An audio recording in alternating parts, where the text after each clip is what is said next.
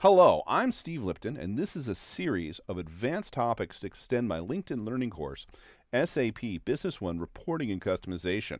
We're trying to make a printed version of this production report to include the routings on them. This video requires some knowledge of Crystal Reports. So if you're rusty on Crystal Reports, you might want to check out my course, SAP Business One Reporting and Customization in the LinkedIn Learning Library. Now, in the last video, we figured out the logic in SQL. We'll next make the production order in Crystal Reports to make a production order that handles routing. I'm going to start with this simple production order header. You can download this from the exercise files on GitHub or make your own. The important thing here, though, is if you do take it, make sure that you go to set data source location and change your data source since you probably will not be able to use the one that I saved it as. I am going to go over here in a database expert real quick and let's look at the links and you can see that I use the OWOR, the header report, and the OITM for the item master. I have those linked together by item code so that I can get the name of the item. I've Got that set up ahead of time. I can hit OK here. I've already put in a doc key here. I'm okay to do with my forms, and I made one formula field for the status up here. Everything else is just laying out data. What I want to do now is play with these details. And I'm going to use two details. I'm actually going to go in here, go to Section Expert, and make a second one so that I have two details. I'm going to put the one without routing in A and the one with routing in B. So I'm going to make two separate reports. That way they don't have any problems with all the link issues that we have. So I'm going to go ahead and hit OK here. There we go. We got that all taken care of. Um, I could put a page header here. I'm not going to, so I'm going to suppress this so I don't have extra space in here. So I'm going to hit suppress. Now that disappears and won't show up on my report. And give myself a little space here. What I'm going to stick in this detail A and B is a sub-report. And you'll find sub-reports right here on the toolbar under Insert Sub-Report. I'm going to click that. Now I'm going to make my first one. It's going to be called Sub No Routing.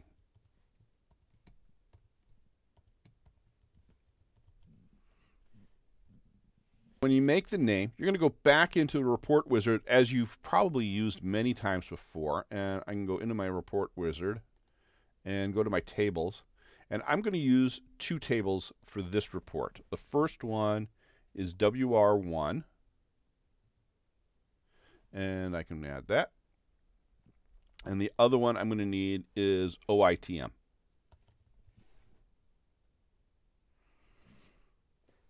And I'll add that. I can go to next.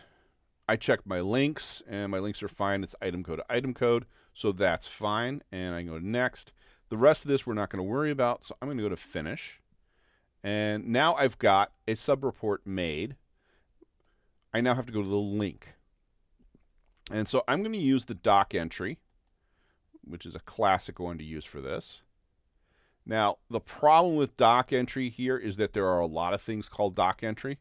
So make sure you go back into here and find what it is. You see this one says internal number. That's because it's part of OITM. It's actually part of this. I don't want that one. I want the other one. I want WOR1. So I'm going to scroll down this list here until I find it. There it is. So that I make sure I have the right one. And I can hit OK now that I've now set a link and a sub-report. It'll set up all of my selection criteria for me. I get a nice little box here. I'm going to stick that box right here.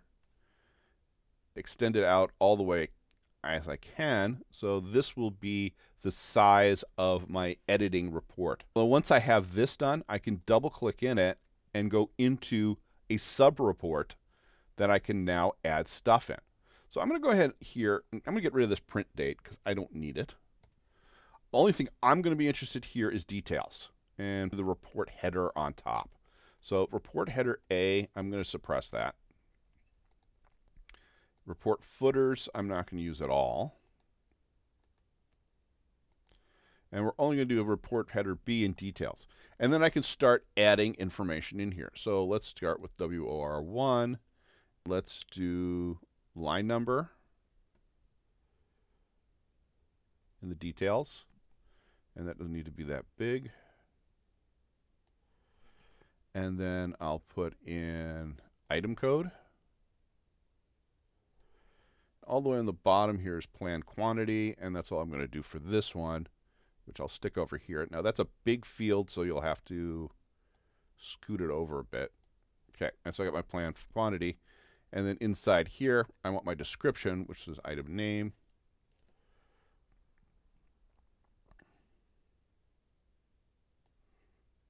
And I'll make that big. Okay.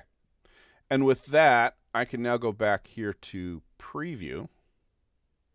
And look what's happened. I've gotten the report has shown those pieces of information here. It's my line number, my item code, and my item name with the quantity planned. So we've got everything necessary right here on the production report. And so this is the basic report. Now this is for 155. I could do the same thing here for 156. Let's take a look at that one. Check that. You can see it's working fine. I mean, it's the same report, just a different work order. Uh, so we got that all working. That's good. Now let's do one more of those. I'm going to go back here to design. And I'm going to do the same thing all over again with one change. First thing we're going to do is do sub routing for the name. And I'll hit report wizard.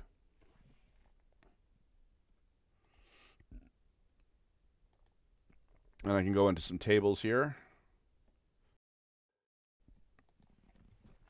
Again, I'm going to need WOR1. WOR4, and OITM. And then hit next, and we can see how these all work out. OITM has one link.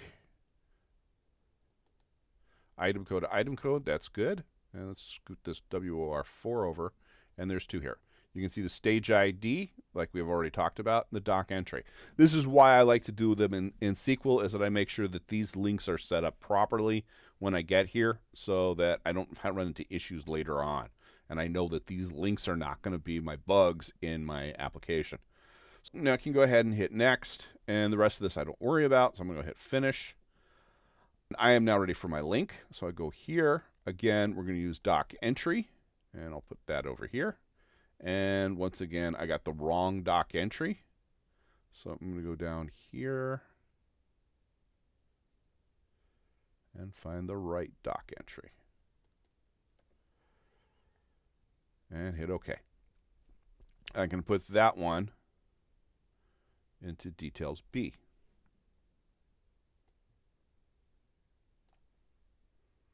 Make it the same size. Once I do that, I can double click into it and start putting in my details here. Again, do some suppressions.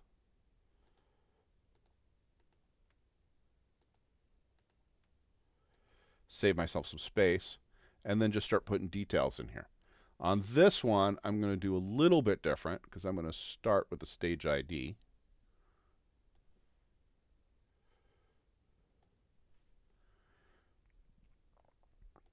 And then I want a item code. And I'm going to want my planned quantity again. And then in between those two, I'll stick the description.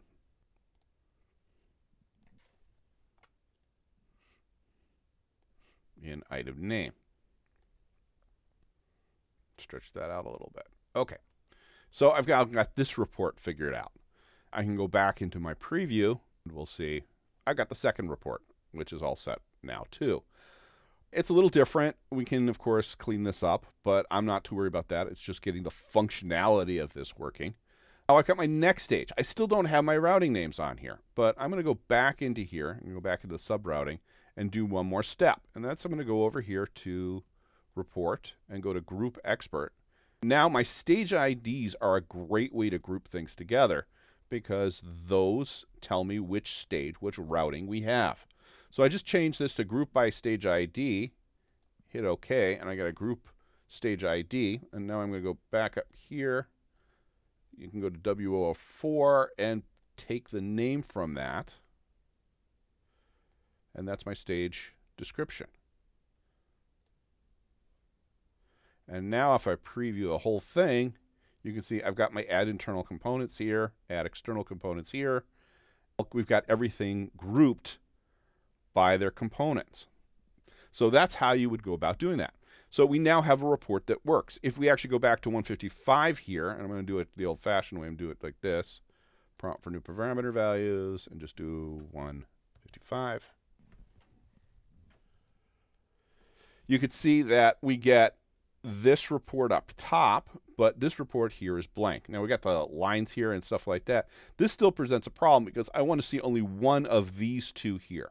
And what I'm going to do in the next video is show you how to do that by extracting data from a subreport. If you want to know about SQL, Crystal Reports, and more Business One features, I do suggest checking out all my SAP Business One courses in the LinkedIn Learning Library.